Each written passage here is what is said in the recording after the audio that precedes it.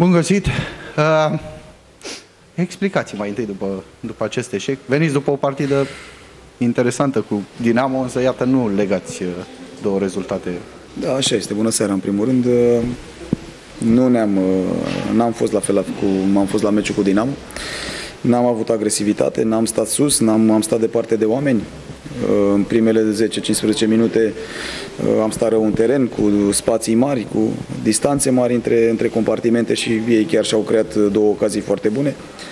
Am început rău meciul, fără, fără prospețime, fără, din punct de vedere tactic, uh, n-am făcut ce trebuie, după care ușor, ușor am, uh, am echilibrat, am reechilibrat repriza, ne-am creat și noi câteva ocazii bune, dar per total Uh, este o diferență mare între ce am jucat cu Dinamo și ce din uh, meciul din această seară, pentru că aici e vorba de, de atitudine, e vorba de concentrare, e vorba de lipsa de, de gestionare, adică uh, lipsa de concentrare în gestionarea unor faze, pentru că nu ai voie să, să greșești de maniera asta, să, să iei golurile pe care le iei, să-ți pierzi omul din marcaj.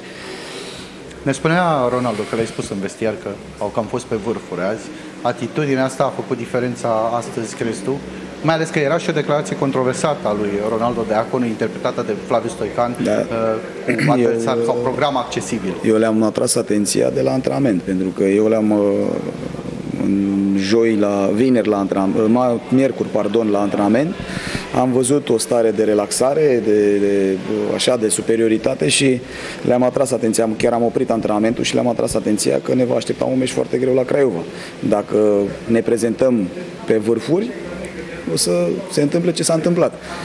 Uh, într-adevăr, au trăit sau probabil că, nu știu, ei au înțeles greșit cum sunt eu și ce vreau eu. Acum, după meci, au înțeles cine sunt și ce vreau și ce îmi doresc eu, au înțeles-o foarte bine în vestiar. A fost cea mai dură ședință pe care ai avut-o de când ai fost... Da, de, de când am venit aici, da. Pentru că eu nu accept. Eu nu accept. Accept și pierzi, se întâmplă să pierzi și accept înfrângerea, dar nu de maniera asta. Chiar dacă ești într-o zi proastă și nu-ți iese, Uh, mie trebuie să înjoci. Trebuie să ai agresivitate, trebuie să ai atitudine, să-ți dorești, să vrei, să te bați pentru fiecare minge, nu cum s-a întâmplat astăzi. Crezi că s-a meritat acel cartonaș roșu din... Uh, din punctul meu de vedere a fost uh, uh, o fază, zic eu, judecată greșit pentru că Romeo uh, deja ajunsese înaintea lui Junior, deci era devenise, el devenise ultimul apărător și Junior a făcut faul când Romeo deja era ultimul apărător. Eu cred că uh, Horia s-a grăbit puțin și din punctul meu de vedere a greșit.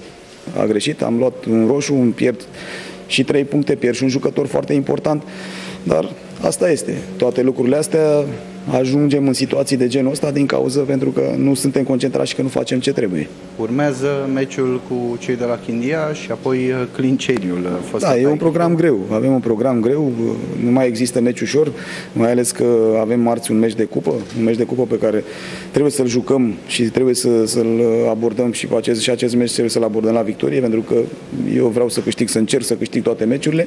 După aceea, la sfârșit de săptămână, în weekend, avem un meci cu Clinceniul. Iarăși un meci foarte greu. Nu mai există meciuri ușoare, mai ales pentru noi în situația în care suntem acum.